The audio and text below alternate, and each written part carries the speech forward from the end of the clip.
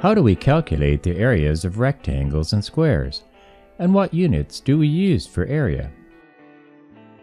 We'll start with a rectangle that is 8 meters long and 3 meters wide.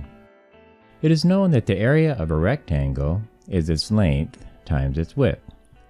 So for a rectangle, we can use the formula area equals L times W, where L is the length and W is the width. We'll look at this rectangle as an example. Its length is 8 meters and its width is 3 meters.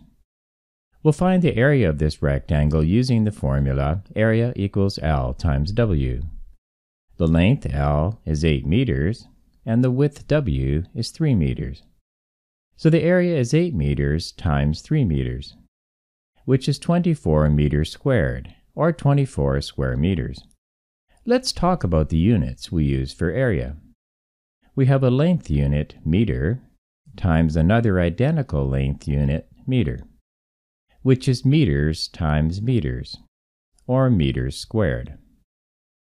Looking on this table, we can see that we can use a variety of length and width units, both metric and imperial. As long as we use the same unit for width as we do for length, the unit for area will always be the length unit squared, as we can see here. Whenever we're calculating area, the unit for length and width must always be the same.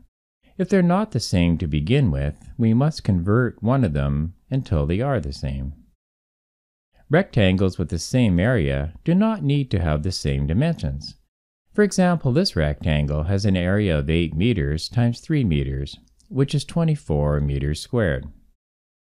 Whereas this rectangle has a length of 6 meters and a width of 4 meters, the area is 6 meters times 4 meters, which is also equal to 24 meters squared. Here's the third rectangle. It has a length of 12 meters and a width of 2 meters.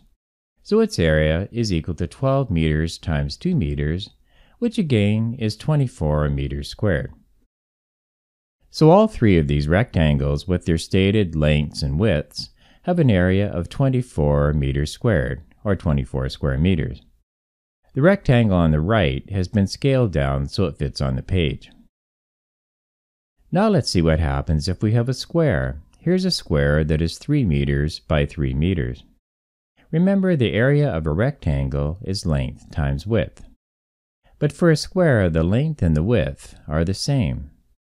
So we can say for a square that the area is equal to length times length, or L times L, or L squared. So the area of this 3 by 3 square is equal to L squared, which is 3 meters times 3 meters, which comes out to 9 meters squared, or 9 square meters. Notice again that the unit for the area of this square is the length unit squared, or meter squared in this case.